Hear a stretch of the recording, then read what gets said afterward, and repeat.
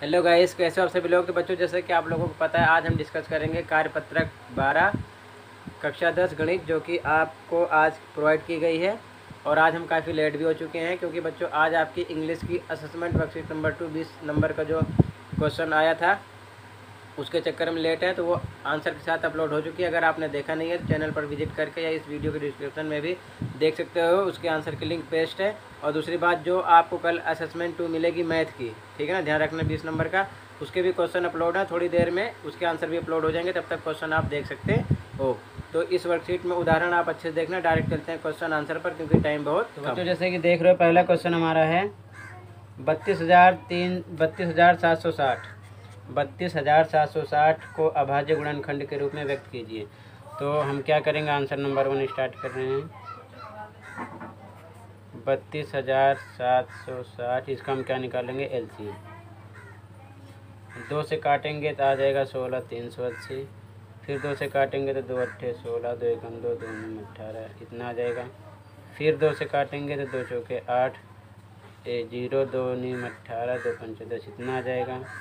फिर तीन से काट देंगे तो तीन एकम तीन तीन तीन नौ तीन चौक अठारह, तीन पच्चे पंद्रह, इतना आ जाएगा। फिर तीन से काटेंगे तो तीन चौक बारह, तीन पच्चे पंद्रह, तीन पच्चे पंद्रह, इतना आ जाएगा।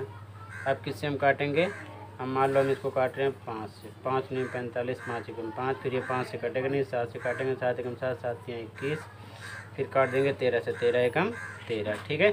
तो हम लिख सकते हैं बत्तीस, सात सौ साठ बराबर दो गुणे दो गुणे दो तीन बार, फिर तीन दो बार है।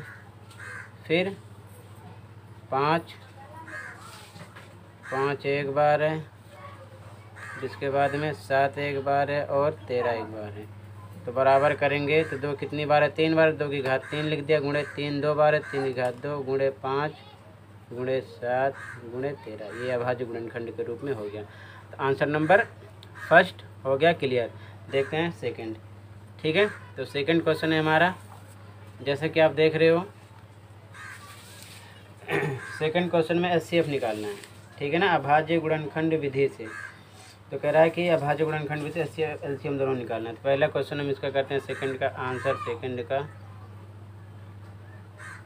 आंसर नंबर सेकंड का कौन सा करते हैं? सेकंड का पहला। तो पहला है हमारा कितना? पंद्रह और बारह, पंद्रह और बारह।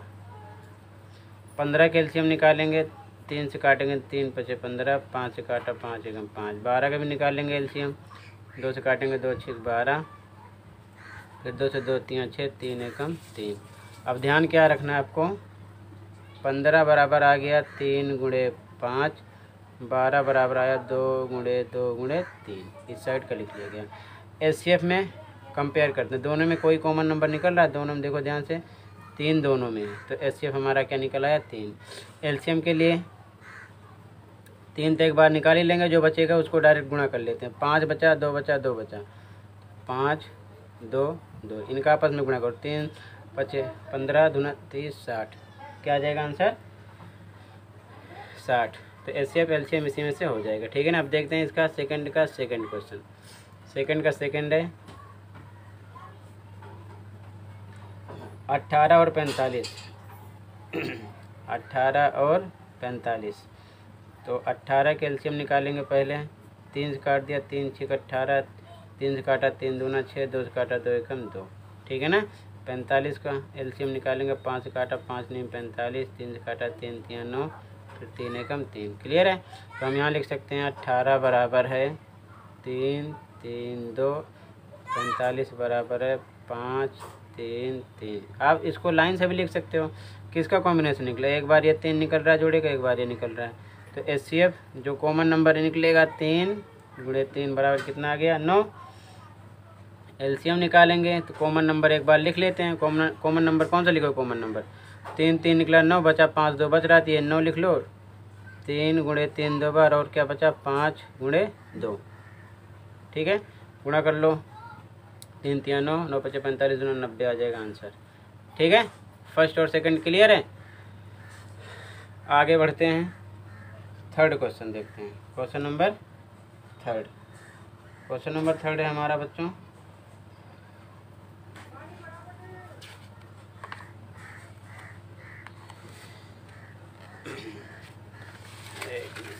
क्वेश्चन नंबर थर्ड है।